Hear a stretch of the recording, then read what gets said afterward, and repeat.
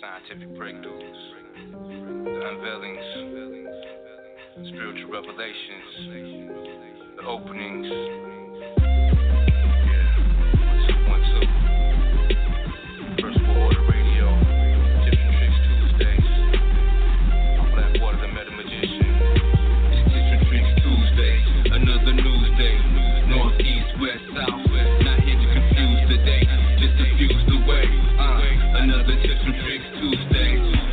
Pig, that's fine. Mm. Hijacking the mind, aluminum bonds with intelligence. Rewind the message. Merry Christmas. 13 indigenous immigrants.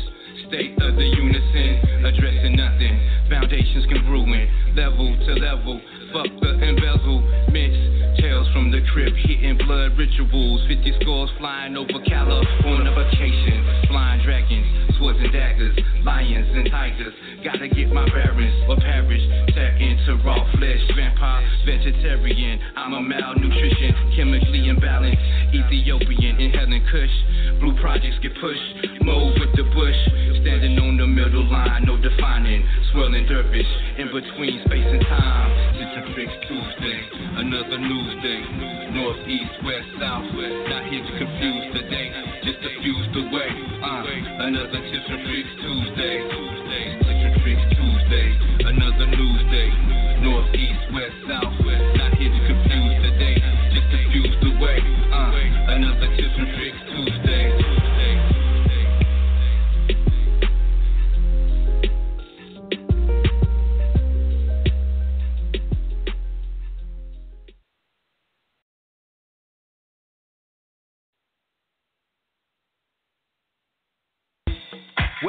Suffer from pain in your back to aches in your knees, come on down and purchase you some ancestral tea to get rid of all the parasites, toxins, and fleas.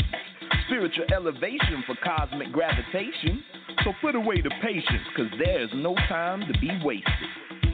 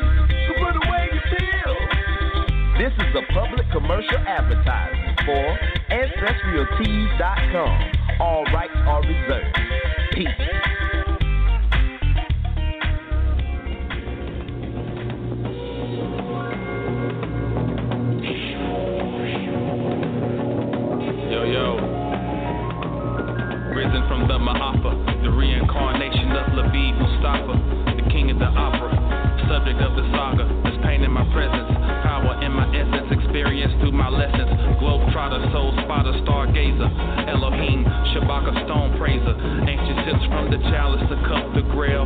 Tell the stories of my glories from the depths of hell. Oh well, as the pages of my book turn, I burn like ether, ashes in the urn. Sprinkle me, I return as a freedom fighter, overstander, truth writer, lighter, or the catalyst, maybe antagonist, mathematicist, sacred geometric strategist, the builder, protracted, seeing panoramic views of animus, as the pianist puts melanin to scale. Inhale, tell me what you smell. This is one eye focusing through the gnosis. Meditate, levitate over primal oceans to medicate, educate over foolish notions. Now you overstand kings and queens and no quotient can divide you. I will find you,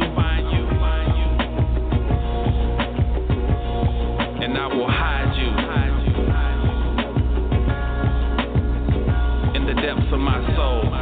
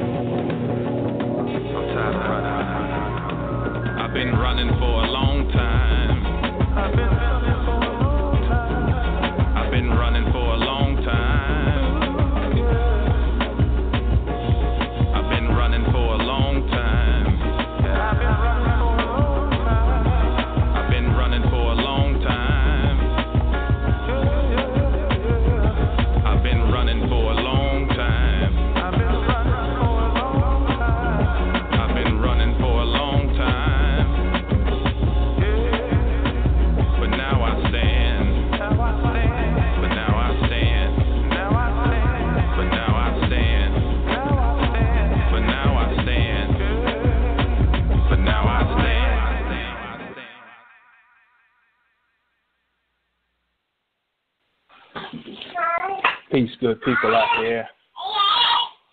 Radio land, cyber land. I want to welcome y'all back to another rousing episode of Tips and Tricks Tuesday. I am Brother Jamal, and I'm sitting in for Blackwater, the Meta Magician. Today's date is December 20th, 2016. The year is coming to a rapid conclusion. And uh, also coming to a crescendo. So,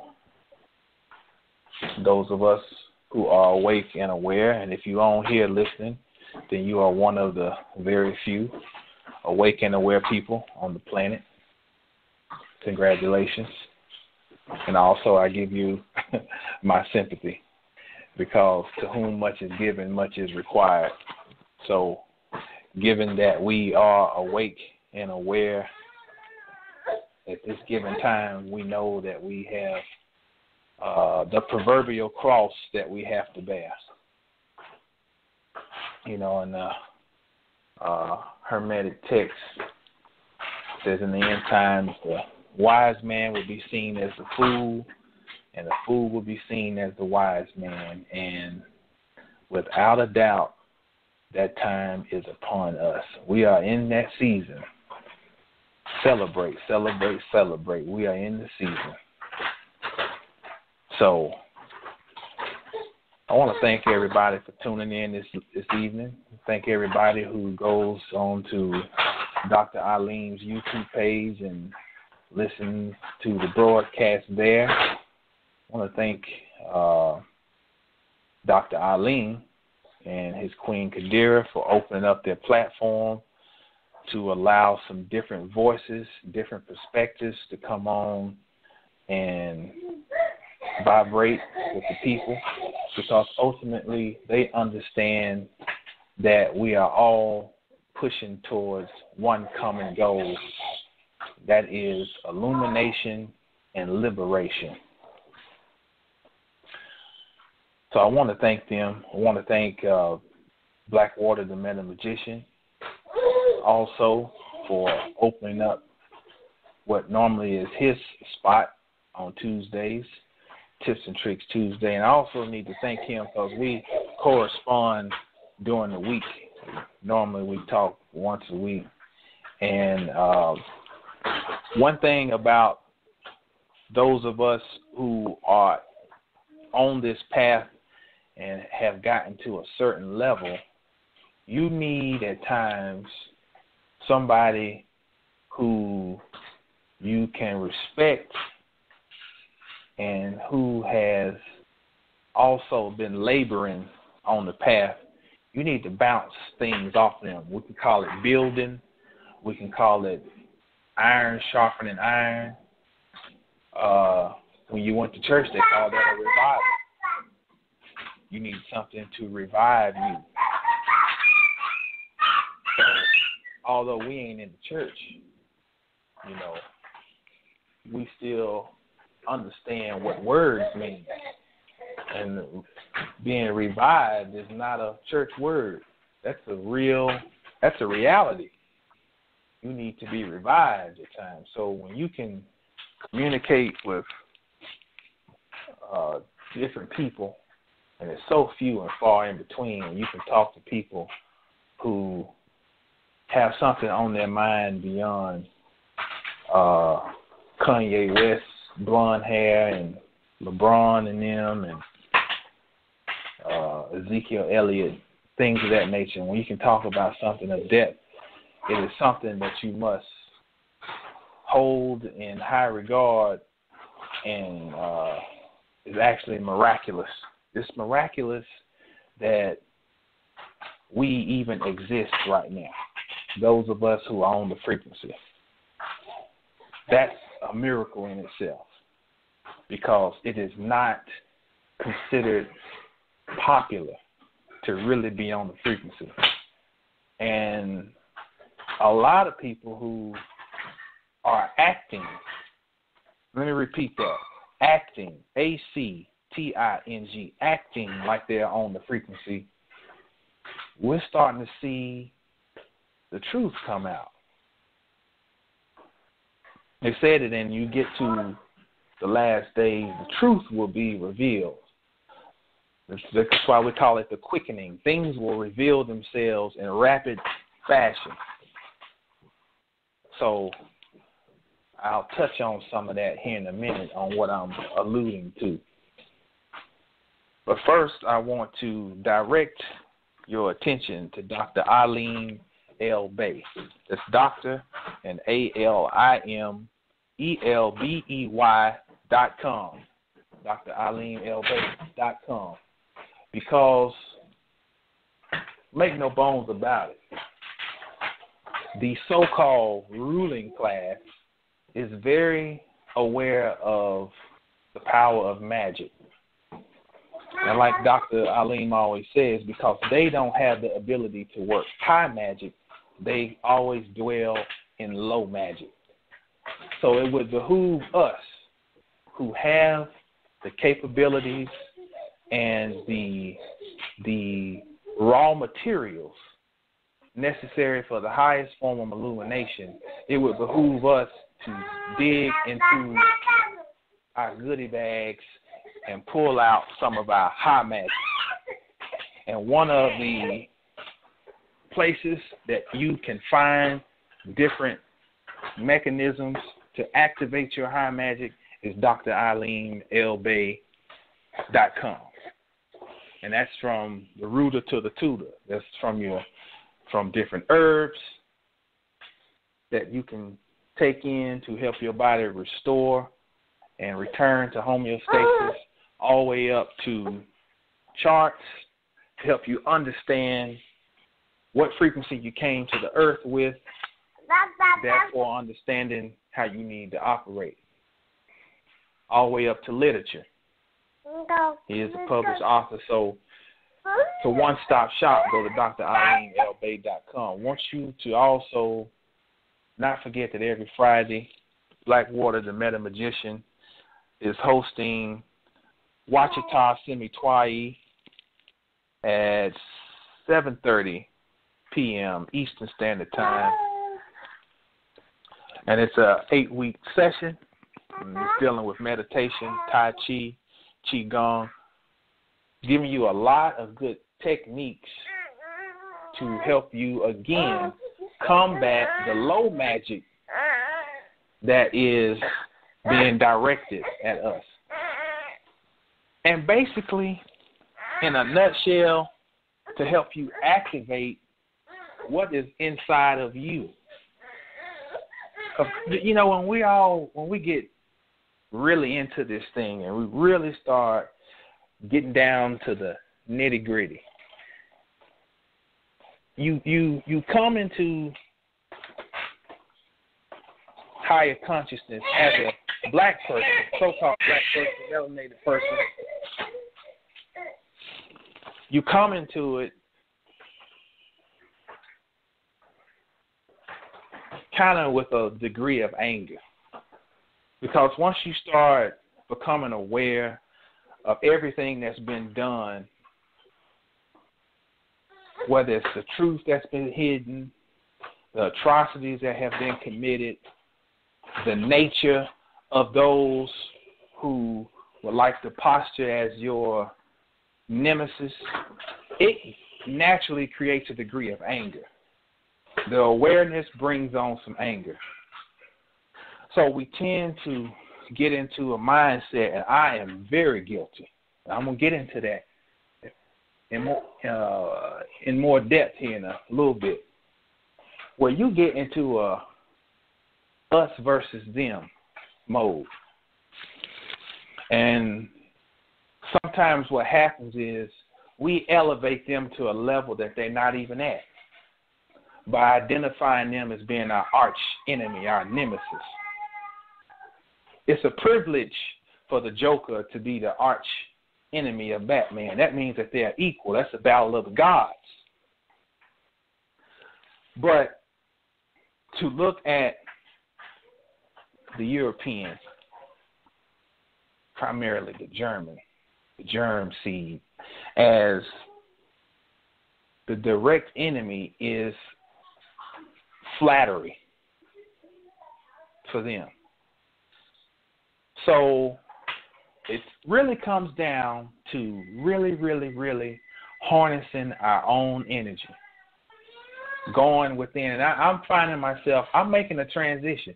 I've gone through another level of initiation just here in the last month because I've had to sit and really look at myself. I had to really think and contemplate. So I'm foreshadowing right now. I'm getting ahead of myself. We're gonna we're gonna come back and I'm gonna explain all this what I'm getting at. But go and check out these brothers. You can reach out to Blackwater at 12th Density Productions at yahoo.com. That's 12 T W E L F T H Density Productions at yahoo.com. So tonight, what I want to work off of for a topic, and I've kind of loosely introduced it, is the metaphysics of fitness. The metaphysics of fitness. And I want you to take what initially comes in your head when you think fitness, and I want you to mentally create a little bomb and blow that up. Because I want us to elicit our creative minds tonight, as well as our logical minds. I want to go beyond what the normal idea of fitness is. Okay? Because what you will discover further along you go is that every single thing that we engage in in this physical reality is something that allows us to rediscover our origin and how to get back home. It's it's a roadmap back to the beginning, back to the mother. So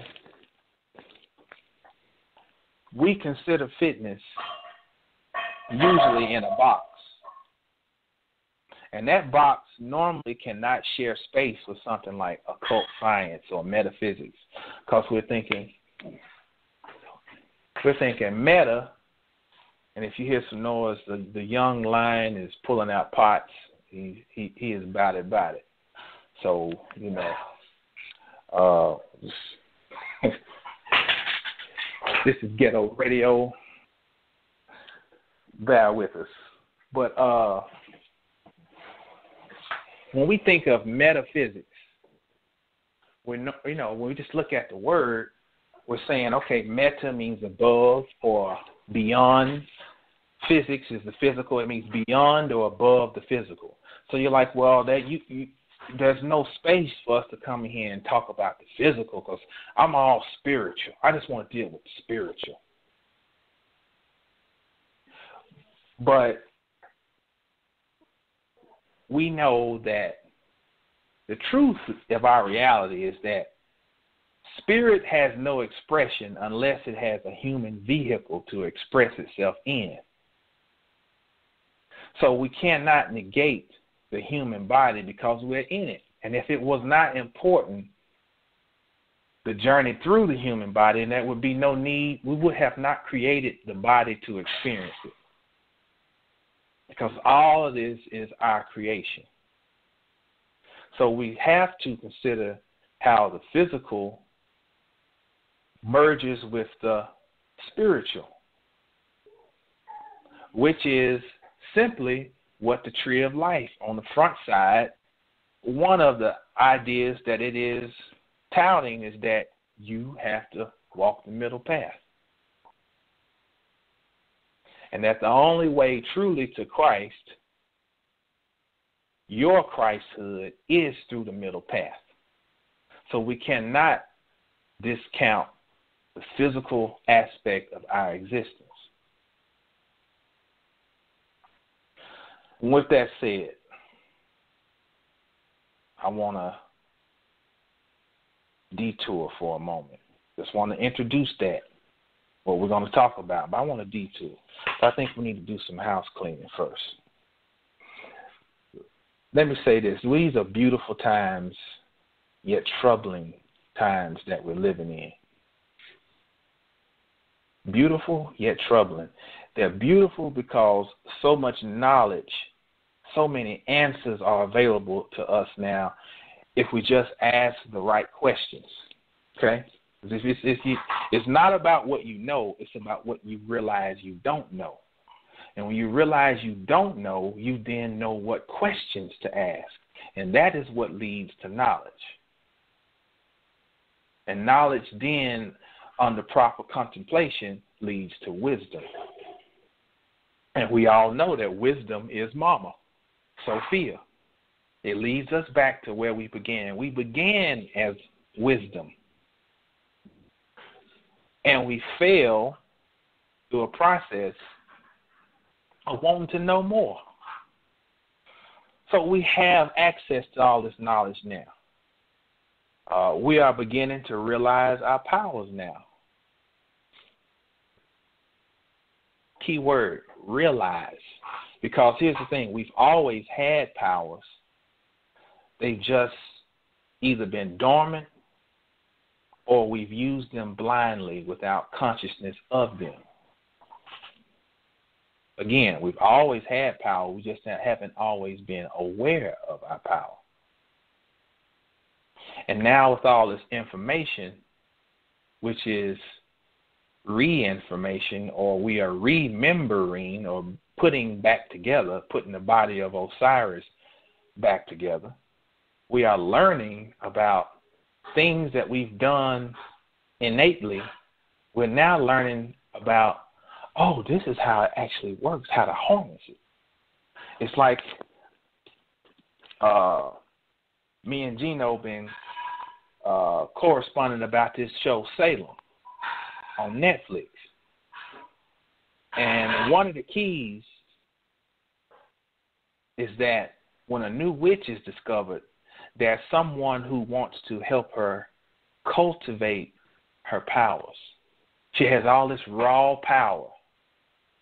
There's this new witch, I'm in season two, named Anne Hale, and she's still learning how to cultivate her powers. She's a powerful witch. So this knowledge has now given us mechanisms to cultivate what we already got. So, along with the release of all this knowledge, is the downside. There's also a ton of misinformation and distractions.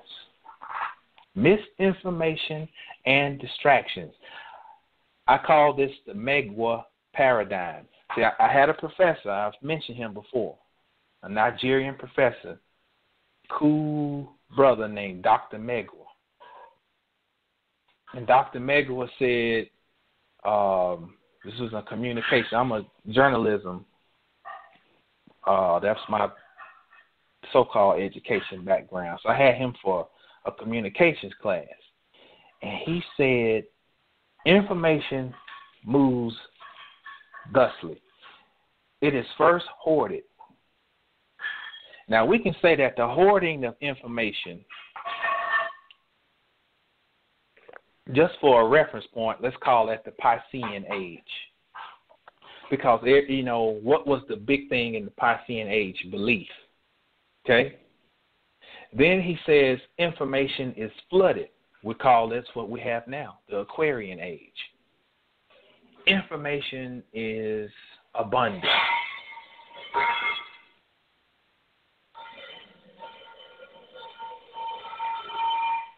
Sorry for that sound effects. Then, after it being flooded, though, here's what comes along with that it's both distorted and embellished. See, that's the that's the there's a price to pay for everything. So the price that you have to pay now for having all this access is that you got a lot of BS that's attached and you have to, like it says in the Bible, you got to separate the wheat from the tare. We got a lot of gurus, we got a lot of charlatans. we got snake oil salesmen, and we got a whole lot of debates. Whole lot of debates. And let me hang my hat right there on those debates. It is insane.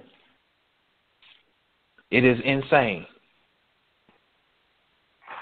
The whole idea of debating has been sullied.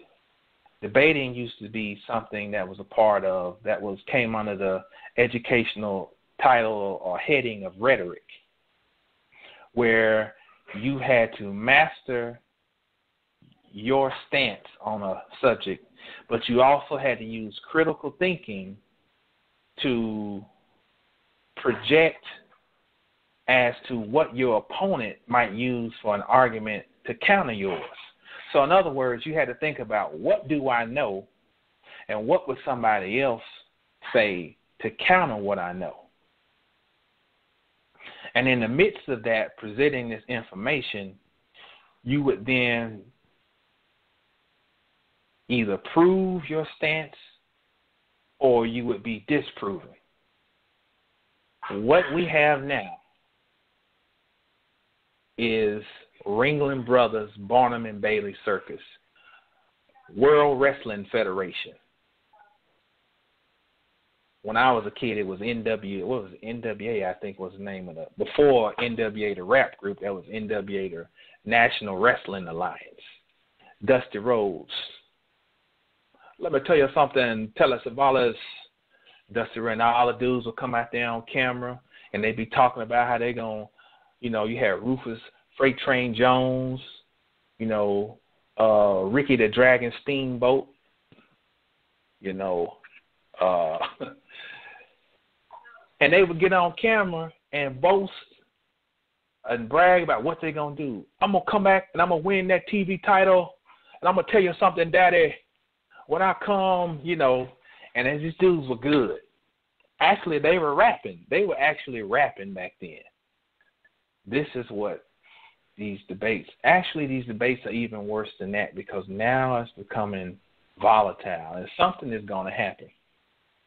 Something bad is going to happen soon. And what it is doing, though, and you know that there are some nefarious hands behind all of this egging certain characters on, probably lining their pockets. Because what it does is it devalues the science and art of query, research, and enlightenment. That's what it does. It devalues it. That's a form of warfare. When information is hoarded, you threaten people threaten people's lives for trying to get information. But when you flood information, you then use passive warfare, which is very dangerous because you don't see it. And you put all these charlatans and these snake oil salesmen and these rah rah people who probably can't read and don't read. It don't matter if they're sitting up doing these videos and got a bunch of books behind them. You can listen to them talk until they can't read you ain't learned how to pronounce certain words yet. You you know you you get you become a better uh, a better articulating by reading and understanding words. You don't understand the word, you get your dictionary, pick it up, define the word, get the etymology and so forth. They can't even read. And these people posture as so called intellectual leaders when they're nothing but rabble rousers. So they are great tools for someone to use who wants to hinder a certain group of people getting and achieving higher enlightenment. And I ain't saying you got to be around here talking like Henry Louis Gates, that chump, but you look, a scholar knows a scholar there are a lot of people who are being introduced to this information through these charlatans who don't know that these people are nothing more than con artists. And then the people who are really dropping science, they get labels like, oh, that's pseudo. Or that's that, you know, that's that space age, you know, out of this world Mars crap and it that's a European argument.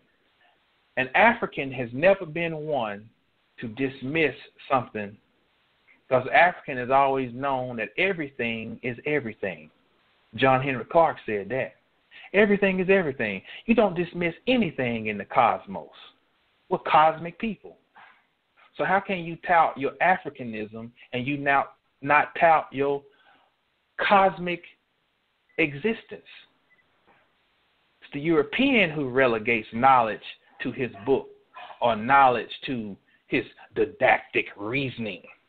They go and try to throw around these words that they've learned at some university because ultimately a lot of us still worship that which we say we are fighting against. So if you want to come, and I'm saying this because I know this is going to go on YouTube, if you want to get some real scholarship and you want to hear some science and get straight down to the proverbial meat and potatoes, then you need to stay tuned in to First World Order Radio. Dr. Alim El-Bey, Blackwater the Man the Magician, Brother Jamal, where we give you straight hard nosed scholarship. Now, I feel like I need to say that. Now, let's start the show. The metaphysics of fitness.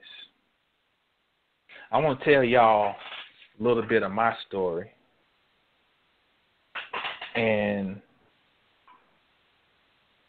tell you some of my travails and so forth and experiences and I want to relate this in a way where you can see, like I just said, how everything is everything. Now, I've told y'all before, for the last 13, 14 years, I've been a professional trainer, personal trainer. I've trained local celebrities. I've trained uh, children, elderly. Uh, I had wild success with my programs, and which is all ironic because I was a chubby, chubby and bubbly growing up. So I was the last person anybody would have thought would have ended up in in in fitness. How I got started was my Uncle John. He introduced me and my siblings to bodybuilding. He was the one who introduced us to the Flex magazines where we used to have Shawn Ray in there and Robbie Robinson and you know, uh uh Lou Ferrigno. Uh, and he used to work my uncle used to work at a place called Square D. And every now and then he would take my cousin and I over to Square D, and he would. They had a little gym, little company gym, and uh, my nickname is Boo, so he'd be like, uh, "Boo son, focus son." oh, we used to we used to trip on he'd be talking. Like, focus, son, focus. You got to squeeze the muscle, son. You got to put your mind in the muscle.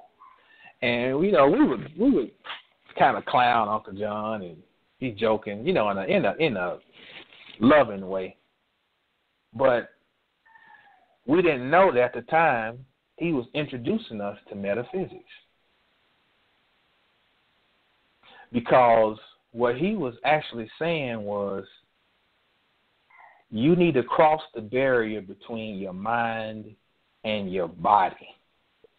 You need to go in between. When you say something like put your mind in the muscle, that's metaphysics. Because we tend in this Western paradigm to separate things. This is the body, this is the mind, this is the heart, this is the lung. We don't see things as all integrated as one. So he was telling us that your mind can travel into the muscle. Then I get these books some 30 something years later and they're talking about there's one book, The Secret of Your Cells. Get that book. I've mentioned it before. And it tells us how each cell is actually a brain. It's a whole universe in itself. An actual brain of the cell is the membrane. So when you're talking about take your mind and squeeze, we know the muscle is comprised of cells. So literally, you are thinking through your muscle, activating the little miniature brains that are inside of the muscle and commanding them through your nervous system to activate. That's metaphysics. Now, he was the first to show us the Mr. Olympia contest. Now, I don't know if y'all are familiar, but Mr. Olympia is the is like the Super Bowl of bodybuilding. Listen to the name, Olympia, as in the Olympia, uh, Olympian gods of Greece, Zeus and his whole pantheon. Now,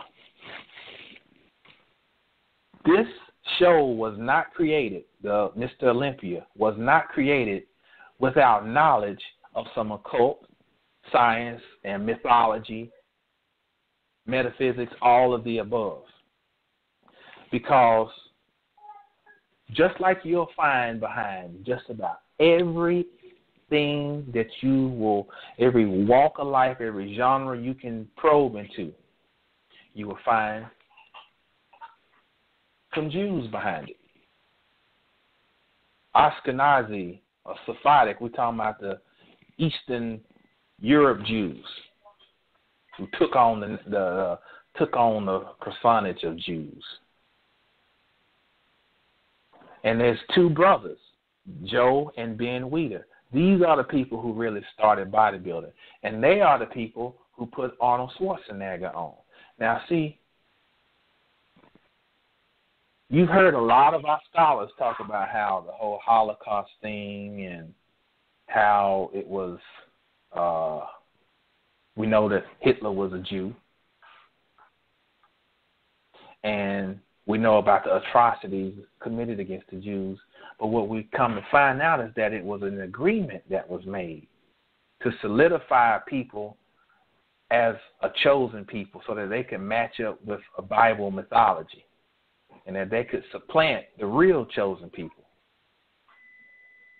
you know who they are, those real chosen people. But I digress. These two Jewish guys were behind this Olympia.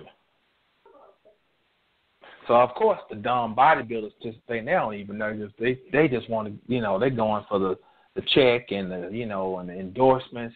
They're not knowing what they're really being involved in, and it's also a sexual aspect to that. Because you know the word gymnasium means a place for little young naked boys. Of course, that's not what we use it for now, but you got to think these people are aware of all these origins. He who is aware of the origin, who is aware of the magic, controls the ritual. So, back to the timeline. My daddy was stationed in the Air Force in Texas. We're from North Carolina. That's how I ended up with the Texas connection. He had a set of children down here in Texas from his first marriage. Okay? One of them, his second child, was my my second to oldest brother, Gary, who transitioned in 2012. So I'll shade for him. But Gary was what's funny. Gary is actually was Bobby. He's Bobby Hemmitt's age. He was born in '61 in November. So uh, so he was 16 years older than me. So he was always this giant to me.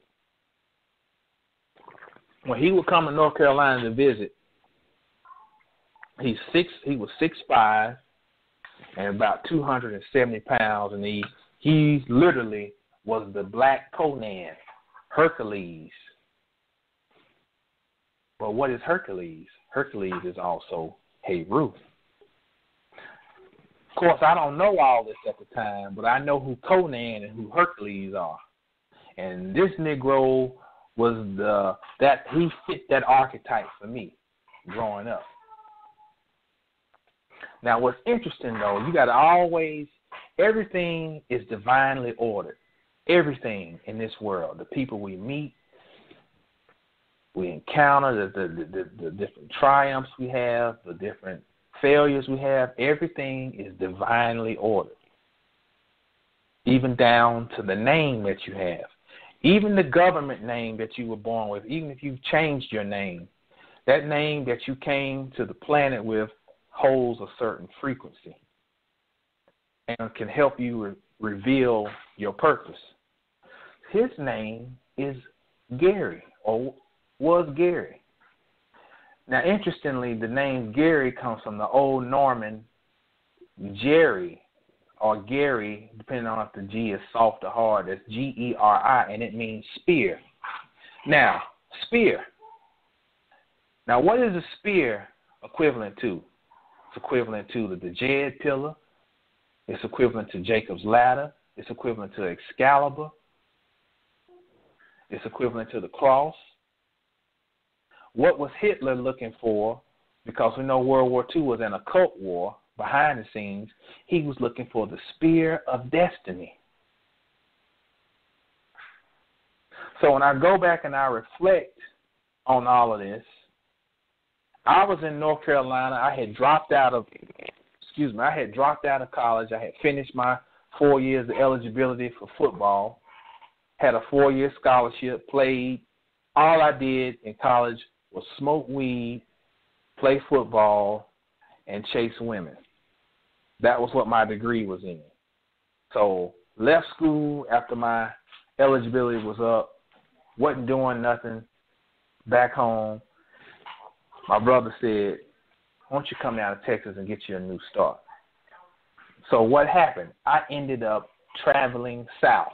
Now in all mythologies, including religious texts, the hero has to go where? Either go west or he has to go south. South into Amenta, the underworld, hell. I had to come down to Texas. And if you've been down here in the summer, you have tasted somewhat of hell. But I had to come down here to recover the spear of destiny. And that's why it had to be through Gary. This is crazy. All this stuff connects. Now,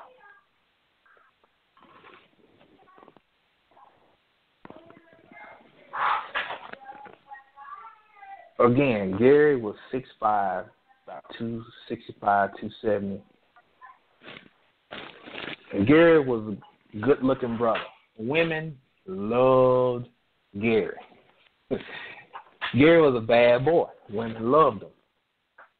Now, for me, again, he had become a god. Now, mind you, when I came to Texas, I'm 20, it was 2002. I was 25 when I came to Texas. Okay? Now, back then, I'm not studying no occult. I don't even know what the. If you told me that word, I'd be like thinking it was some Jim Jones something. So I don't know I have a clue what no occult is and no metaphysics. So I'm just blindly going along. I don't have a clue. But unknowingly, what I had done was I had taken his energy and I had formed an archetype out of it. He had become my version of Heru, Heru the elder. And I had become Heru the child. I was Heru on the horizon, on my way up. And what happened is, I looked at him and I used his energy, his guidance, to transform my body and my mind. Mind you, this is all through just pure mundane physical fitness. I don't have a clue about nothing. Not knowing though, I was actually using magic. I had created an archetype that I could identify with Don't panic. I always talk about. Don't tell me about all the intellectualism of Osiris.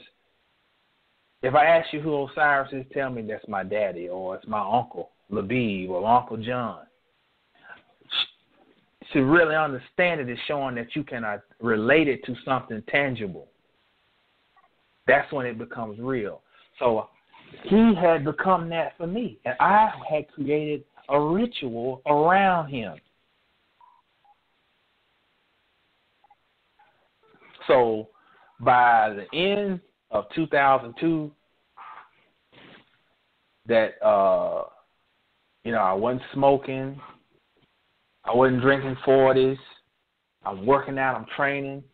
You know, I'm seeing when we go out to the club, I'm seeing how the women turning their heads. I'm like, man, I got to get my swag back.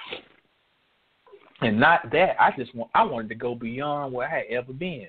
So I got myself in shape by the end of 2002, and I started to experience some of his world. Two years later, I start my business up, 2004. The next year, I do my first bodybuilding competition. That's in 2005. Come on, boy.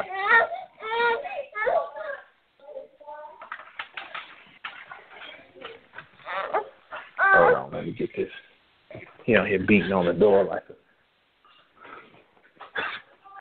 like a Gestapo. Um, so I did my first show that year and got got blown out. Um, but it sparked my business because by me understanding what it took to do a, a competition, I was able to. I, it expanded my knowledge in nutrition and how to really maneuver and manipulate the human body, and the, my business took off. Opened my first gym in 2006. Well, let's fast forward. We get to 2010, and my head is uh bigger than Yakub. You know, I'm making six figures. People calling me stuff like, "Oh man," they they used to call me, "Oh, you're the scientist. Oh, you're the magician. Oh, you're the doctor." All these, you know, you know how people gas you up, and I'm eating my own cheese. You know, I'm believing it. So, uh, 2011 comes, and I start tasting failure. I'm not gonna go all into detail, but I can tell you I lost everything. Everything. and in that, that forced me to go back into where I began as a child. You know, my father really got me started with uh, Afrocentric knowledge. And then after he transitioned, I went to I found out after getting all his books, my daddy was actually reading metaphysical books, Sexuality and Spirituality by John Moore, came out in 1980. Now, what black man reading this back in the late 70s and the 80s? A book on spirituality. I mean, on uh, on the metaphysics of sex. But either way, when I failed miserably, when I say fail, I mean fail bad, it thrust me into my hero's journey. So I came to Texas under very mundane pretenses, not knowing that it was all part of a divine mission for me to get on my hero's journey.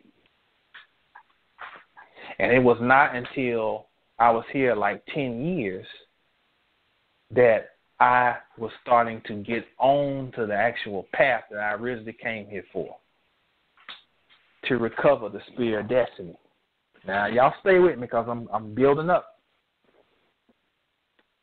Now, what happened after I got on my journey was that I noticed, whereas in the past it had been at times it felt like I was the mightiest man. Everything I touched turned to gold. Well, after all that happened, it has been very difficult for me to make money in fitness. Now I ain't lost my touch. I'm still, you know, I'm a master of my craft. I'm not saying that to be egotistical, but I have mastered my craft, I'm, and I'm still learning. But it's not the same. And I remember Bobby Hemmitt several times says, you'll notice it.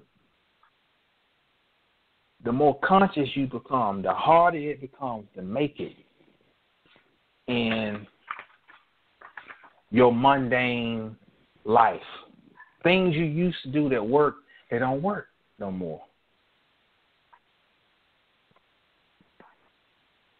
And that brings us up to present time. And I'm just being open with y'all because this is cathartic to me.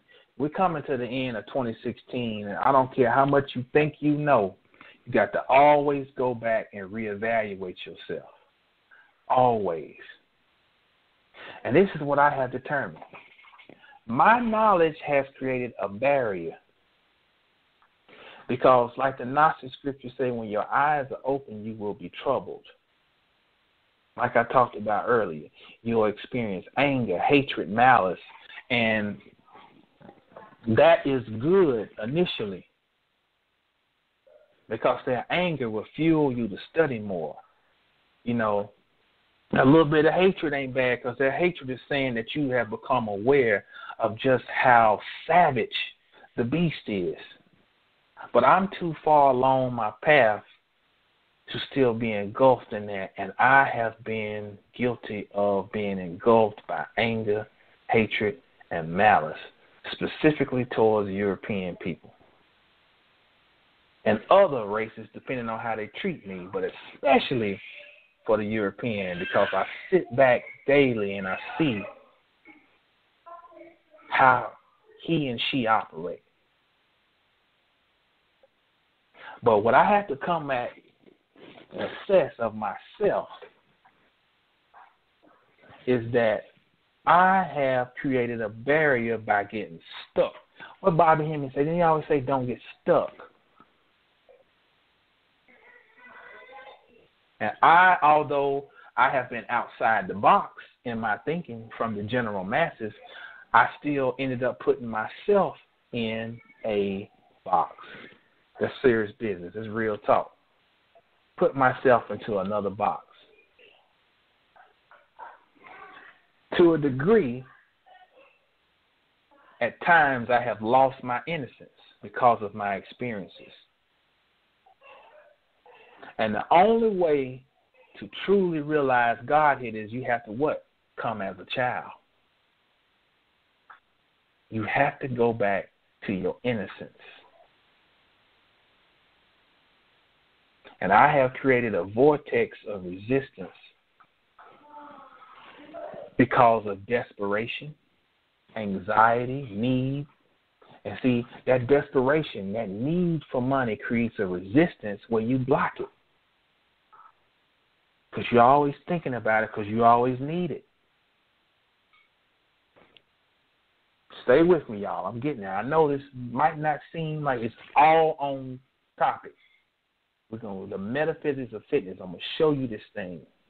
Show you how I'm going to go back to what I know. What I know now and what I didn't know then. Okay? Again, when I came here, let's say I was all on the physical path. And then when I had my failures, I swung all the way the pendulum all the way over to the spiritual path. Therefore, I allowed myself to to not maintain the physical shape that I had been accustomed to for the past eight, nine years. So, what am I doing? right here at this solstice, I'm looking at Jamal and I'm like, Jamal, come back to the middle path. Don't it say in Romans 2 and 12, be in the world but not of the world? So I know we got to live in both worlds. Well, if anybody is capable of straddling two worlds, it's us. Because ultimately, if you take two circles, take one circle, say that's one universe or one reality, you take another circle and you and you overlap it, what do you create? A vesica piscis, the womb. And us being the womb people that come from the womb man, if anybody is capable of living in two worlds or multiple worlds at one time, it is us. And if we want to talk about melanin, it is a conduit that allows us to traverse multiple realities, multiple worlds all at one time. It's the key to the doorway. And you got to come back to it. So now what am I going to do? Now, now what I'm suggesting to you, even if you don't know nothing about no fitness, I'm going to give you a crash course this evening. And not just fitness, but I'm going to show you how to take fitness and use it as magic. Based on what I know I have done with myself ignorantly, now I'm going to take what I know in the mundane and apply it to my spiritual knowledge to it, and I'm going to create a new reality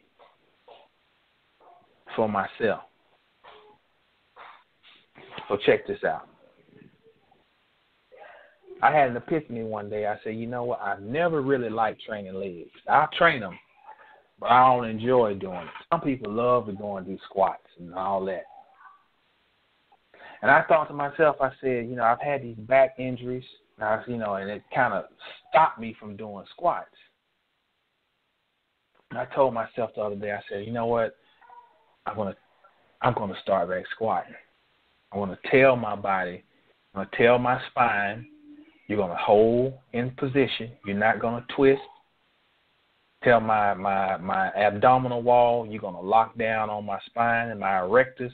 You're going to lock down on my spine. You're going to hold it stable, and I'm going to squat. But check this out, though. Using my God mind, this is what I said. By training my legs harder, I'm going to get greater understanding. Now, just think about what I just said. The word understanding means what? To stand under. What stands under a table? The legs. What stands under your furniture? The legs. What stands under your car? Your tires, your shocks. That would be the legs of your car. Your legs are your foundation. So I use my leg training as a ritual. I say when I go and train my legs, I'm going to get more understanding. So what I'm going to do is I'm going to introduce these different principles with different body parts, I'm going to give you a scripture to back it up. Okay? So check this out. Genesis 19:24. Then the Lord rained upon Sodom and upon Gomorrah brimstone and fire from the Lord out of heaven. But his wife looked back from behind him, and she became a pillar of salt. Now, we've talked in the church growing up that Lot's wife, they, did, they didn't even have enough respect to give her a name. She just always been identified as Lot's wife. Oh, she was the nemesis of the story. She was the idiot, the goat, because she turned around. No, she was the heroine of the story. She looked back so that she would have understanding. And because she looked back, she turned into what? A pillar of salt. Now, in the ancient world, salt was highly regarded.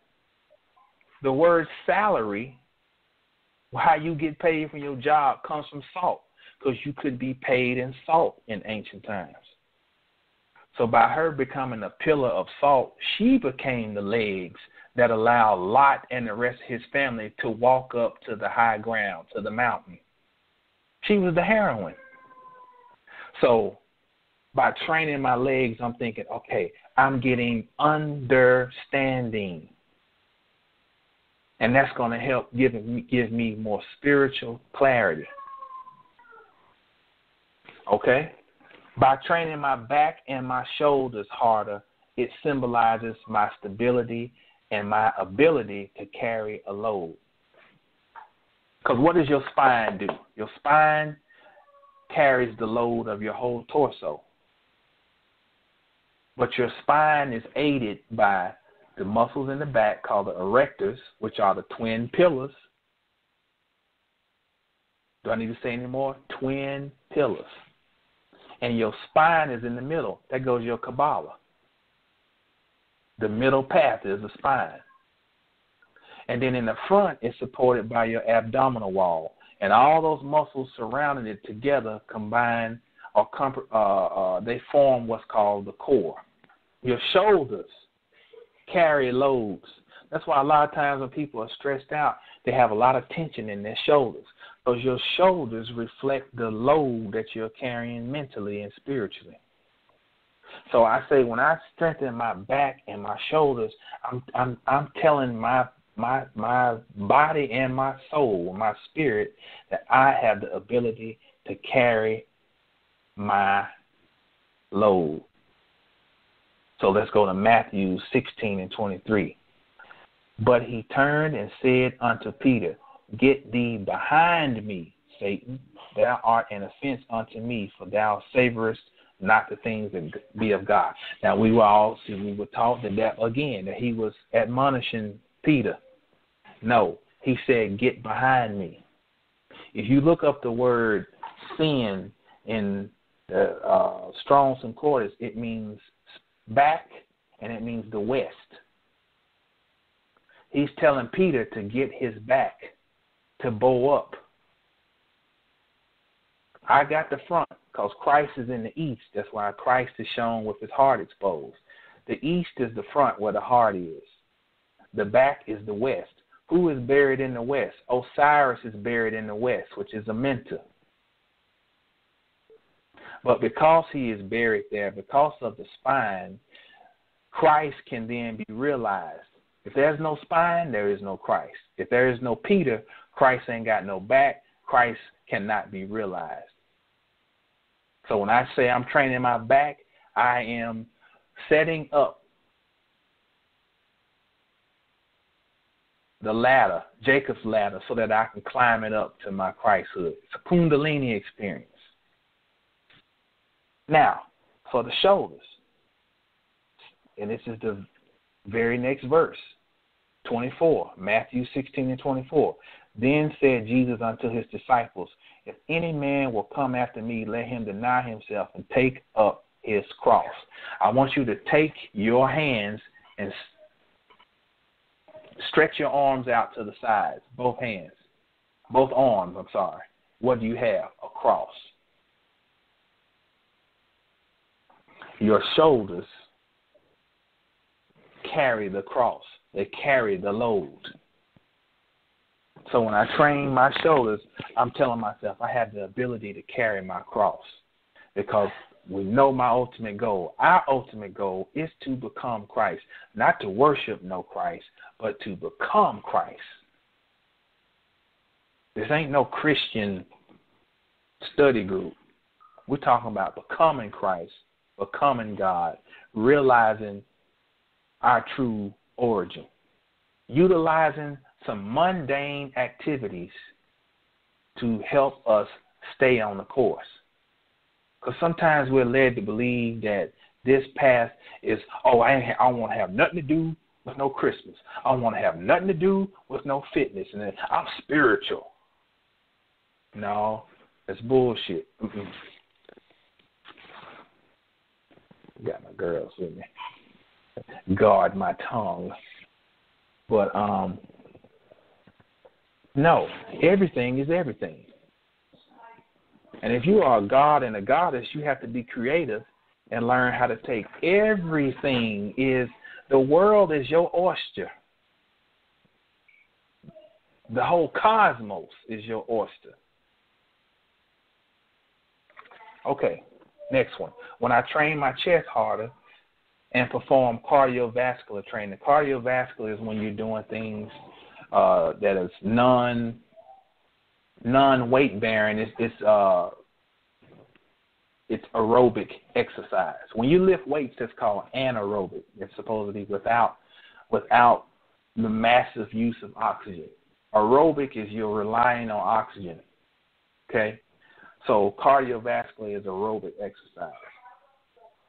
When I'm doing that, I'm thinking I'm expanding my horizon and I'm developing and cultivating my heart chakra.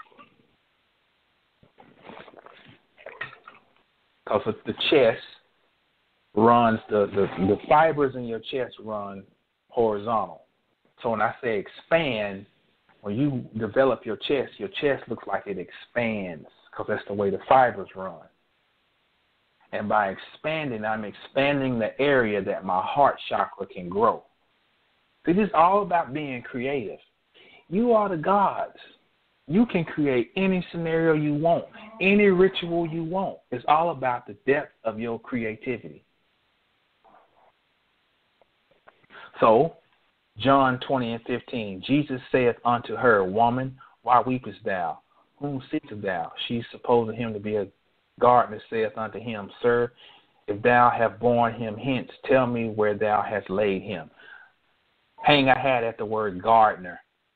This is Mary Magdalene is weeping over Jesus, and she sees him and she thinks he's a gardener. Why do they put that in there? What color two colors we, we typically think of Osiris, black and green. You also got blue. Let's just hold a hat put a hat on black and green. What does that symbolize? Black is the bile. When you talk about the opening of the way, you're talking about the anus. For the bile, the black bile. But what does the black bile do? It fertilizes the ground so that new vegetation can grow. Thus, he's a green god. But what is green, though, also symbolize the heart chakra. So when Mary Magdalene in John 20 and 15 sees the gardener, what's the first color that comes to your mind when you think of a garden? What's the predominant color? Green. That's a, that's that's that's codex. That's coded language. They're talking about she saw his heart chakra illuminated. And it is through the heart chakra that then the pineal can be activated. So when you're doing your chest training, you're doing your cardiovascular, and you want to quit, you hate doing cardio like I hate doing it. I hate it with a passion. You need something deeper sometimes, give you something to push through. Think about, oh man, I'm gonna push these next five minutes, and I'm expanding my heart chakra. Just by you being conscious of yourself, you are working magic. Okay. Training your biceps is equivalent to holding on to success because your biceps squeeze. They squeeze your radius up to your humerus, your forearm up to your upper arm. That's what the bicep does. It squeezes. When you're doing your bicep work, think about I'm holding on, I'm squeezing on to success. Let's reference Genesis 22 and 13.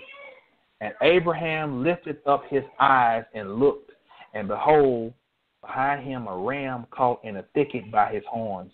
Abraham went and took the ram and offered him up for a burnt offering in the stead of his son. Now you might be thinking, what the hell does that have to do with a bicep? I want you to be creative. Use your creative mind. Let me first give you a little word origin on the word bicep. When you hear sep, sep is the same as sep, as in cephalic. That's a head. Sep means head. Bi means two. So your bicep has two heads that comprise that muscle. Two heads. Okay? Now the bicep would be, or the two heads would be equivalent to the two hemispheres of the brain.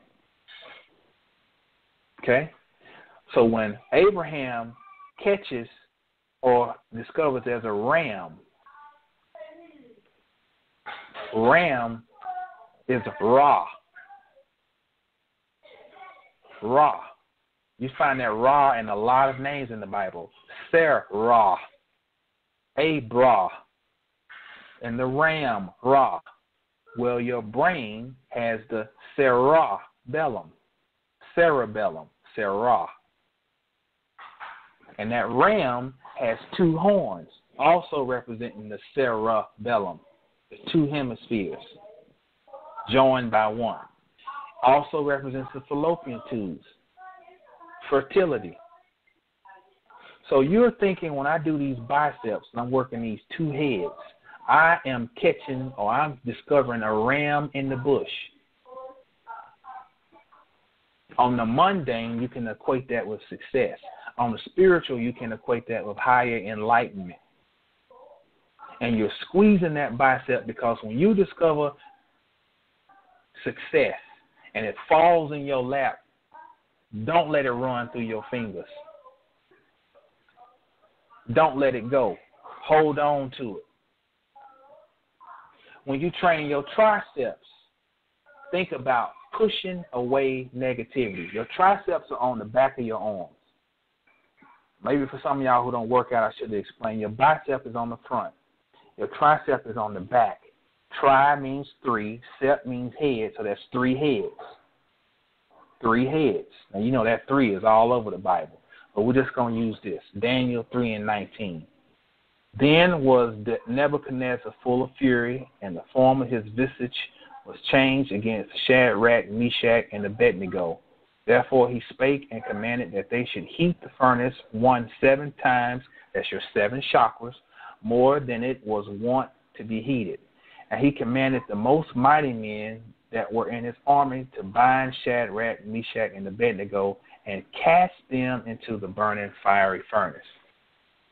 Whenever you burn something, you're purifying it. So everything that should not be there, you're burning it away. That's what purifying is. Pure comes from the word pyro, which means fire. You're burning it away. So when you're doing your triceps, the triceps function as they extend your arms. When you extend, you're pushing things away. When you use your biceps, you're pulling things to you. So when you're doing your triceps, think about I'm getting rid of all this negative shit. I'm getting it away. I'm getting it out. All the toxics, toxins, and all the negativity, I'm pushing it out. I'm burning it up. Finally, when I train my calves, I'm thinking about springing back and having vivacious life energy because your calves, everybody should know where your calves are at on the back of your legs. Your calves help propel you, give you spring. That's the key to one of the keys to jumping is your calves have to be activated for you to jump. So look at Mark 10 and 34. And they shall mock him and shall scourge him and shall spit upon him and shall kill him. And the third day he shall rise again. You've been going through catching hell, beat down, beating yourself down. You are equivalent of going down into that grave, feeling depressed, feeling less than. And when you think of when you're training those calves, think of you springing up spring, as in when the sun crosses the vernal equinox, spring, coming out of your grave.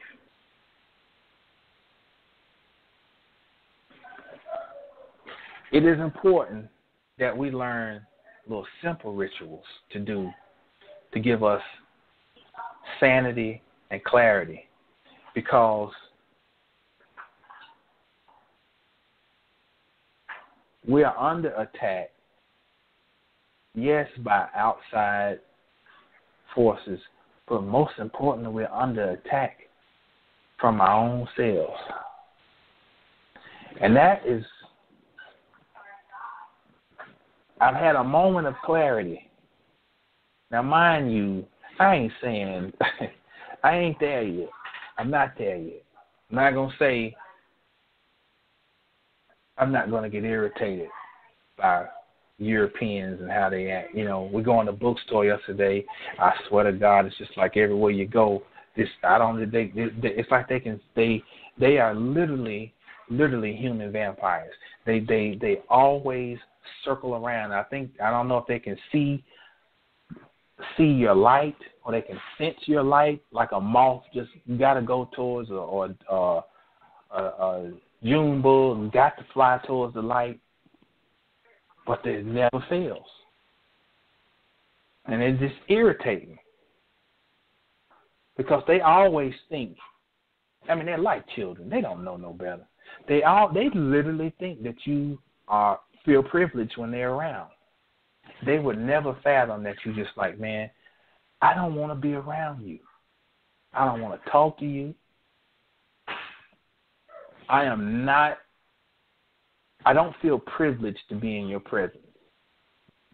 And I mean, most of them are really ignorant. They don't know no better. They really they've been raised that when you've been raised to think that you're superior, you think that people, those who you've been taught that you're uh, superior to, that they really do value your presence.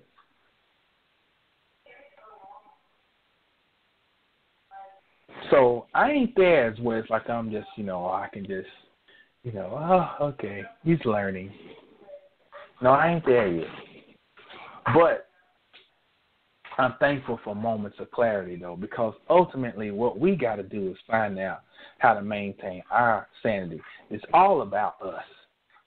It's about us getting where we're supposed to go. And really, really, if you get down to quantum physics and holographic science, they don't even exist. They don't exist. And really, part of what they're trying to do is convince you and I that they exist, that they are worthy of your attention.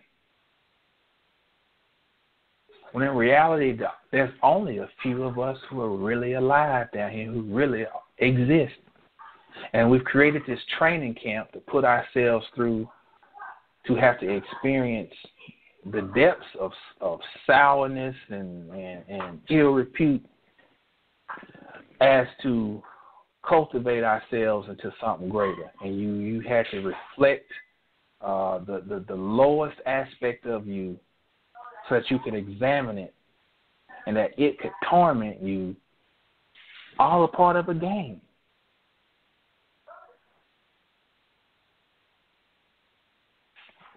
So, what if part of the way of getting out of the labyrinth or the maze was just focusing more on what we can actually do? And not just thinking that it's calling on Zarabanda or El Cristo Negro or Oshun or Maybe it's not even just that. Maybe it's, it's, it's even simpler than that. Maybe it's just as simple as the everyday events that you participate in being truly aware of how they can be used for magic. You know, like when I eat this broccoli, I know it has all this powerful chlorophyll in it. I am going, you know, being aware. It's like I'm, I'm turning on my metabolism to, to, uh, to absorb all of this potassium in this kelp, to absorb it. I'm going to kill this vegetable Because understanding, even when you see in the Bible that the Hebrew women ate their babies, they're not talking about cannibalism. They're talking about absorbing the energy. Because killing, eating, absorption, destruction are all the same. I'm going to absorb this energy. And it's really just all, actually, what is it? What is it coming down to? Our minds, activating our minds. So, with that said, Tomorrow begins the winter solstice. So, what am I planning on doing? I'm going to fast tomorrow. Not to venerate some deity, but to lighten my vessel, to clear out some space so that I can have more spiritual clarity and I can have more precise vision. Because when I was ignorant, I didn't have as much weighing me down because I ain't know as much. And sometimes what you think you know can weigh you down along with the physicality of life. So I'm going to clean out my vessels physically with a spiritual awareness. And then for the next days of the solstice, you know, the other two days, I'll be honest, I'm just going to play it by ear. I'm going to see how it goes tomorrow. I might fast through the whole solstice. Or I might just, you know, eat some some basically a a, a raw vegan, either vegan or vegetarian for those next couple of days. And it's all about creating my own ritual. Because no matter if I'm going to be utilizing some other mechanism, like I'm gonna call on some deity, or call on an ancestor. Ultimately, I need to have my vessel more suitable of a vehicle to transport and transform the energy that I'm going to call on. So, if anybody was kind of wondering, well, you're aware that the solstice is coming up, what's something that maybe, hey, maybe you want to try fasting? And if you can give some time to etch out, try to sit and meditate. And check out Brother Blackwater's class on Friday, 7:30 uh, Eastern Standard, 6:30 Central Standard. He talks about meditation and moving your chi, moving your energy, and not letting ourselves be moved by life. Another thing, they just identified some new heart condition called SCAD, and it's uh, it is uh, spontaneous coronary artery dissection. Now, this is how they go back on their lives. They put up this whole industry about cholesterol starting in the 80s. Oh, cholesterol. The 90s was fat how it leads to heart disease and this and that. Now they're coming back and saying, well, there's this new condition and it doesn't really align with atherosclerosis. This is what, and we don't quite know what, how it came about or what's causing it. Now I know they're lying because I've got all these books where they've already been talking about it as far back as 1978. the book's called Time, Space, and Medicine, I think, by Larry Dossey. I think I talked about it last week.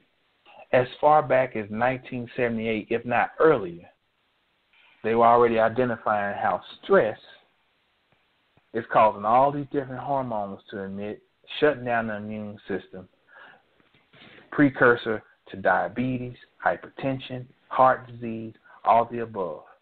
And they created all these industries based on all these other false flags. When in reality, what's really killing people is Western civilization. Your job, your pursuit of progress, your pursuit of achievement, killing yourself to go back to get your master's so you're thinking that's going to get you higher in your job or you know or or getting your PhD so they can put you in more debt and dangling the possibility of you getting more money. All the while you're killing yourself. Hair falling out, arthritis, stress, digestion issues, metabolic dysfunction. All these things come from stress. Western civilization if we should use such a word. There's not much civilized about it. So you got to have the ability to self monitor and step away from some of this stuff. I know some of us are in positions where we got to go back to school just to maintain these jobs because they put you under pressure. It's all about certification. Certification. Oh, you've been doing this for 20 years, but now you need to be recertified because, well, things have changed. We need you to go and show and prove. So it's important to incorporate some type of fitness in your life to have some means of decompressing. And what we're coming to learn is that your physicality does have an effect on your spiritual life as well. How can you get the spiritual nourishment if your body's full of toxins? So it's good to move. It's good to move. What's something else going on? Uh, y'all heard about the Berlin attacks. We know that's a winter solstice uh, ritual. You know, if it even occurred, we don't know.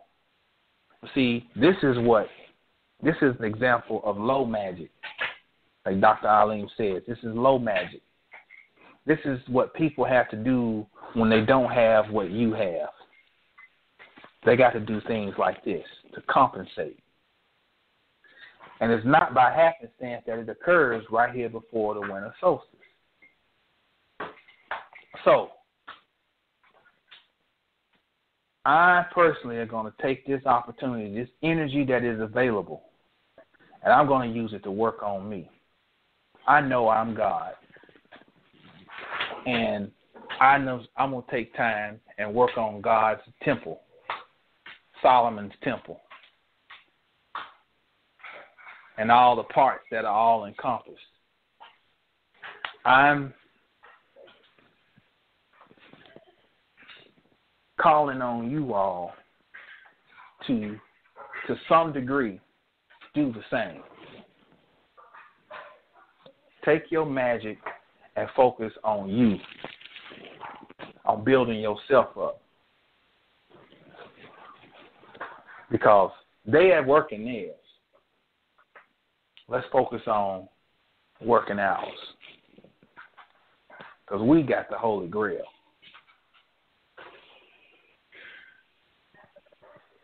There's a whole nother part to this whole fitness thing I think it would be best if we do a part two because it's too much to try to go into the night. But I wanted to, we'll say that this is the foundation.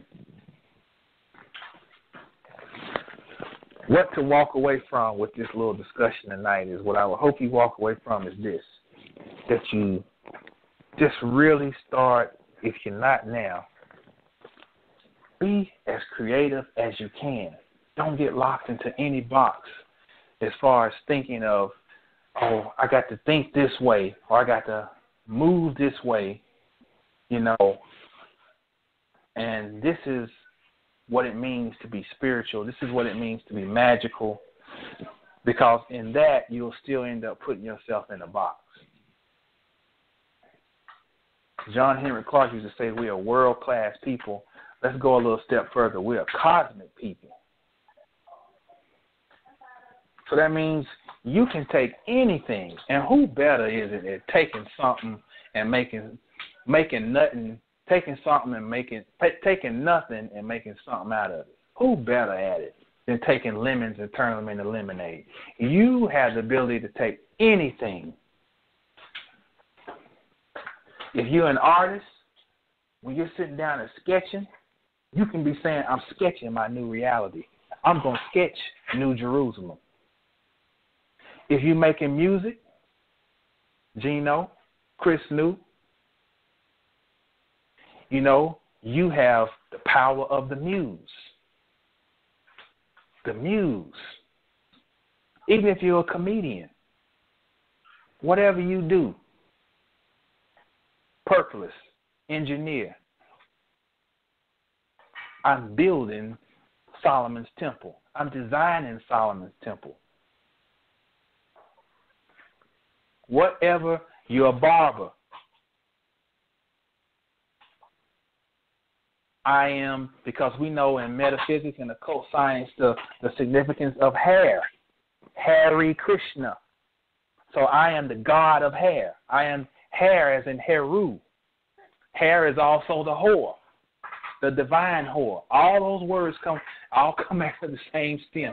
I'm telling you, everything you do is God business. Don't think that your life is insignificant or the little little profession you're involved in or your whatever you're doing is insignificant. Everything is magic. So that's all I got. The lines are open six two six four one four three five three five.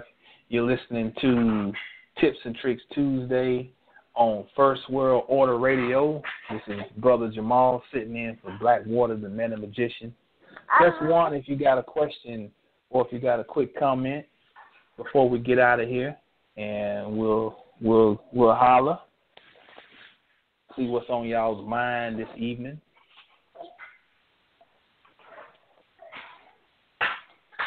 Unless y'all gonna be shy, or I bored y'all to death.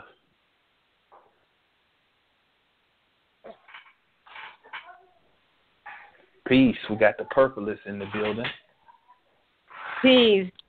Hey fam, how is everyone? Um, I just called in for a comment. Cool. I just called in for a comment to let everyone know that Inner Sanctum is going to start meeting. Our first meeting is tentatively going to be January 6th. Right, right. I'm sorry, I forgot. That's right. The inner sanctum down here in the Lone Star State on the north side, Ashe. Ashe. the Dallas Fort Worth area. We're gonna start meeting on uh first weekend, I think that is January.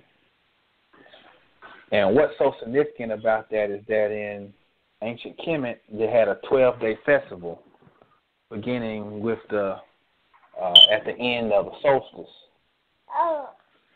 twelve day Heru festival, and it culminates on the sixth. So this is a very powerful time. We got the solstice. That's where they get the twelve days of Christmas from. On the twelfth day of Christmas. So we're gonna harness that energy. So uh, Fort Worth area, you can um you know, my email is hjrobinson360 at gmail. Purpose, I don't know if you want to give out yours. E L O R I A W E B B at MSN dot com. And that's the main email you need to contact to to to stay abreast of what's going to be happening. So, and if you missed it, you know this will be archived on uh, First World Order on Blog Talk, and it'll be on Dr. Alim's YouTube page. So we're finding more and more people are in the woodworks down here who are into some high science. So y'all stay tuned we're getting ready to get some things popping down here. Ashe. Shay. So, y'all, um, if y'all awake out there, y'all, um, let me know what's what's on your mind this evening. All right, we got us a Houstonian coming aboard. Nine three three one. What's happening? What's up with it, Jamal? What's going on, man? Gino. What's happening?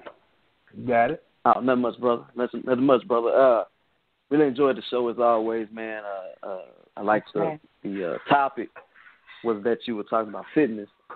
Uh, anyone that knows me knows that I pretty much work out every day, and uh, and you, like you was talk, talking about with cardio, cardiovascular. I do a lot of cardio, and uh, I got two things for you, man. Number one, when you're talking about cardio, that's interesting. What's your take when when they say mind over matter, uh, or the whole thing is uh, to you know you know your body's hurting, and so you have to trick the mind to overcome that. What's your whole take on that? Well, that that when you're understanding the supremacy of the mind in the grand scheme of things, that that uh, pain is just the sign that you are going into or you're crossing the threshold going into a new reality and that your mm-hmm. mind has the power to override that because it has the ability to see the big picture your your your your physical body is more of a, a slave of sorts and the mind is the grand master Okay. so you know Okay. Okay.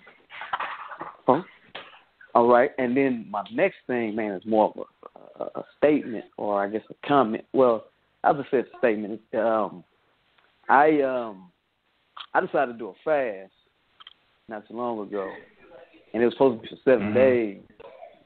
And so I went to uh, our local health food store here, and uh, well, anyway, uh, the fast that I did, they uh, they give you uh, these these pills, you know, help kind of clean out your colon, kidney, liver, and spleen, because that's pretty Mhm. much where a lot of you know most sickness resides there, and uh, Mhm. on the body. And so and though so anyway, so um, the other thing they give to, to purify the body, like you were saying about the word purify, they give us olive oil. mhm Now, going back to what you were saying earlier about the color black and green, mhm that's essentially what olive oil is. mhm Is that whole Mhm. black and green? You know That's what right. I'm? So this is what helps with the purifying, or to try to get the sickness mhm up out of you. So, like you said, Mhm. everything is everything. You know, So right everything is everything. So that's that's, that's basically Osiris. You know. that's right So that's right Yep. So Francis, shout out talking to about you. intelligence I wanted to say that as well. I wanted to give a shout out to Francis, Sister Trina, my boy Christian, everybody out here listening, man, to this brother here laying it down, putting it down. Uh, Jamal, we really appreciate you, man. Like, man, just keep up the great Really? work, brother. Really? No doubt. I Mhm. I appreciate y'all, and I I appreciate the, you know, I give Sister Purpose. I give her the name. Uh, her new name is the World Wide Web, because you know she's the she's the connecting connecting piece. So Oh, I'm yeah. glad that she yes, introduced she is. all us, and you know, uh, hmm everything is definitely everything. You know, It is, brother. So- Take it easy, Jamal. no doubt. Peace. All right, peace, man. Okay. Oh three two four. What's happening? Hey, brother Jamal, how are you? Peace, is peace. Trina How you doing? Kansas City. I'm happy. You What's going what? on, Goddess Trina? Man, I let you get away last week, and I never figured out how to contact you or reach you on Facebook or anything. I need to connect with you, brother. Okay. Well, what, what's uh, your name well, on what, one- what is your name on Facebook? Well, I just now got back on there, and it's uh, it's just my name, Jamal Robinson. Robinson. Okay. I be in uh, and Jamal that's J A M A L. Robinson. A M A L. Uh huh. All right. And um, Trina Hurt Michael. I'll, I'm gonna be uh, adding you on my page here uh, soon, brother. okay. Right on. Um, right and on. also in reference to uh, uh, physical fitness and, and good health and everything, I just wanted to add in. I'm going, I'm going through a rough uh, uh, sickness right now, but uh, in spite of all that I'm going through and have been going through, uh, yoga has yoga Yeah. and meditation has has really really helped me to maintain uh or allow me to function at a very very high level to almost to the point where well Francis kind of caught on but but it's almost to the point where nobody even can tell that uh, Hmm. there are things going on with me and and yoga has just been really uh a blessing for me. My daughter got me onto it uh, before the sickness Mm. got too heavy. So I just wanted to throw that Mhm. out there about yoga and how it keeps the body flexible and it exercises muscles intensely. Right. Yeah, And yoga ain't no joke. This is any aerobic exercise as well too. Mhm. Mhm. And I just wanted to Yeah, throw that out there pose. and throw that one in. Yeah, I appreciate it because yeah, and that's true. Uh, yeah, yeah, yeah. yoga, yoga punk me. uh, it ain't no joke, especially as a big man. You know, people be putting their legs all behind their head and just, you know, down dog, up dog, happy dog. You know, Downward And, facing uh, dog. yeah, yeah, yeah. That's about the easiest one for me. You know, but um. They and and those poses, Yeah, I- every muscle in your body is forced to stretch, exercise, and holding those poses really increases uh, Mhm. muscle and uh, Mhm. different Mhm. parts of your body. It's really incredible. It's been very good for me. But but Mhm. oh Hawkeye Francis, you know Francis is pretty sharp. You can't put nothing over on her. she Mhm, knew. mhm. Mhm. She knew something was going on. She knew something was going Well, on. so I just uh, finally had to admit it to her, and then I was able to talk about it. But uh, the yoga is what keeps me going. Well, let me give everybody another little easy. Well, it ain't easy, but it's simple. Something. Once again, everything is everything. You go back to your childhood, jumping rope. And I'm gonna tell you why jumping rope. Even if you got to build your way up, if see, it's different levels. If you if you can't jump rope, yeah, you can just bounce and pretend you're jumping rope like they did air rope. And as you build up your your you know your strength and your endurance, you can go to the actual rope. But the, the good thing about jumping is that your lymphatic system works like a valve. Now, what does your lymph system do? It, it removes toxins. You know, uh, so when you're jumping, when you're jumping, you activate your lymph system, and it only moves in one direction. It moves north, so it goes up. So when you're jumping, you're pushing toxins up, up, up, up, up, and then they go out through your lymph nodes. Right. So a very therapeutic regimen to take on for physical fitness and to help with any type of illness is jumping. You know, even if it's a trampoline. Mm, I'm gonna keep. I think I will buy a small trampoline. Yeah, why not? Mhm. Mhm.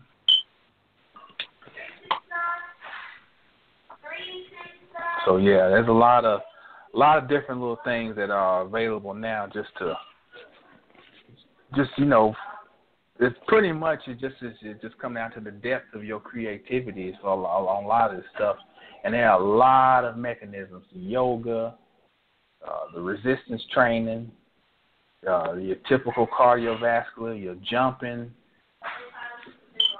the prime thing the common denominator to all this stuff is move Mm-hmm. Move. Moving. And stag Mhm. stagnation, you know, water that does not move is dead. Is normally where a lot of dead things are living, and and water that is Mhm. moving is where you're gonna find life. That's right. Hmm.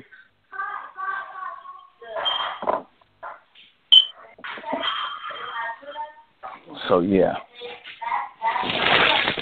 Well, it's like tomorrow, I'm gonna I'm gonna challenge myself. I'm gonna get on this fast tomorrow, and I just I want more power. I want more power to control my reality. and um, so I'm I'm I'm have noticed too that a lot of times the past few years, as one year has closed out, I've just moved right into another year, and there was no break. There was no time of reflection. Hmm. There was no time to cultivate anything. It was just a continuation of the same. Hmm. So, I, I'm one thing I'm going to do is I'm going to take time before this year ends and the next one start to do some some tinkering on myself. Hmm. And I, you know, I'm encouraging everybody to do that. Don't just run over into the next one, you know, and you ain't take it because it's that's that's that's a rich that's a magic too. We, we're calling Mhm. these cycles, and they just move you right from Christmas to after Christmas sale to oh get ready for New Year's, and next thing you know, you're right back on the on the hamster wheel.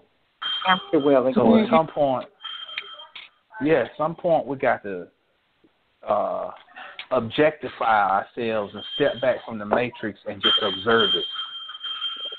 You know, and observe ourselves, and then get back on it. hmm So that's that's my that's how I'm looking at this. You know, this this thing, um, this year ending up because you know this year is two one six. That's the nine. That's the womb. So Hmm. this is a year of, of the final uh, trimester of gestation, Mhm. and Mm. uh, next year adds up to a 10. 10 means one, that means whole. So we're supposed, we're going through a birthing pains right now. We're going through, you know, contractions because we're getting ready to give birth to something whole. Regardless of what they're saying in the media, regardless of all the different distractions and scare tactics and what these idiots are doing with all these different debates and and and, and all this other stuff. Something whole is getting ready to be born. I know it. Especially for me personally, you know, I'm looking at just all of the different pitfalls and travails that, that, that you know we've been dealing with personally and I know I'm going through like another stage of initiation because you know I turn 40 here in a couple of months, and 40, you know, and this was one thing Dr. Alim. I remember him saying this at the lecture in Dallas. He said it rained for 40 days and 40 nights in Genesis, the Noah story, and I never paid attention to this. He said on the 40th day, the rain, the water broke. And see, hmm. because my mind was conditioned to think about, oh, the flood stopped, I didn't catch what it was really saying. The water broke. Yeah, 36 is when it's safe to give birth, but typically, you know, it's going to go to the 40th week. And then the water broke, the 40th week. So something is 2017 is going to be a very powerful year of revelation, and it's going to be the body of Osiris coming back together. Ashe, Ashe, Ashe. Ashe. So- Whatever, whatever we're going through, don't, don't, uh, don't feel like all is lost, cause it ain't. Just, it's just time to push. You know, that's the hardest part of this. Now it's time. We see the head. It's time to push. Huh?